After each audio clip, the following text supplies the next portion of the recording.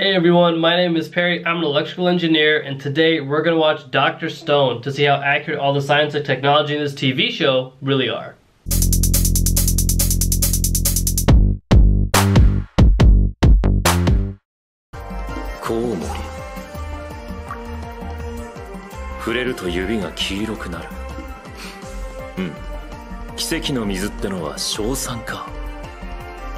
Well, Okay, for one, nitric acid is like clear. So if it's yellow, there's something else going on in that mixture. How in the world did that guy smell his finger and go, oh, nitric acid? Like, how does he know what nitric acid smells like? This guy seems like one of those people who like, he'll smell a glass of wine and he's like, oh, okay, yeah, this is from France. He'll give you like an address and like somewhere in France where it was distilled.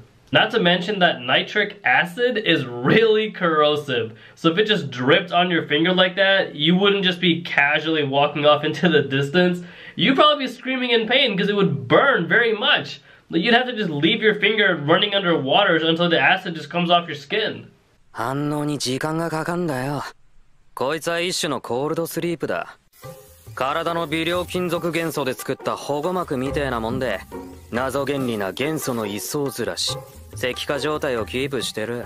Alright, uh, well so like so far like what he said is like yeah not all chemical reactions will take the same amount of time i mean usually if you mix two liquids together those tend to be slightly faster than if you're like pouring a liquid onto a solid your body does contain a lot of metals and i mean the first one that comes to mind is iron which is probably the most abundant iron is a part of the protein hemoglobin and what hemoglobin does is it takes the oxygen in your blood and it just carries it all around your body where it's needed Hemoglobin is red, which is also why your blood is red. There's a lot of red blood cells in your body, so the idea here being that although like all the iron in your blood surfaced and solidified so that you were just encased in stone, I don't...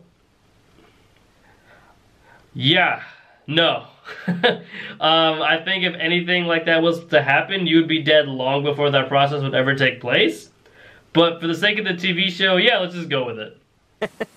分かったぞ現在地は北緯35度19分統計139度32分だ Senku is really impressive man because I I mean I've been living in this same city for over 20 years and I have not a clue what the latitude and longitude of where I live is. Now, more on the stone statue, there will be some landmarks that survive even thousands and thousands of years of weathering and erosion. The most common example I can think of are the pyramids of Giza and the giant sphinx. Those have been here for the longest time and they always have sand just bashing up against the rock, yet they're still standing. I'm more surprised that they haven't found any sort of plastic items. I mean, granted it has been a couple thousand years, so they might just be like buried underneath the dirt. But considering that plastic doesn't decay and all the plastic that's ever been produced still exists right now, I find it really hard to believe that they haven't come across any of it.